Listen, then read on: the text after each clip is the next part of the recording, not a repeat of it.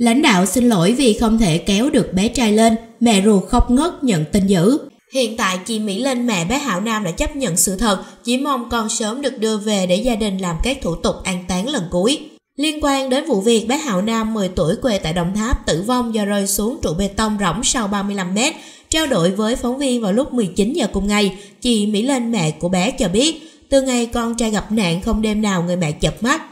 Sau khi biết tin con mất, chị Linh cùng chồng đã tính đến các phương án làm lễ an táng cho bé Nam, trong đó dành khoảng đất để an táng bé.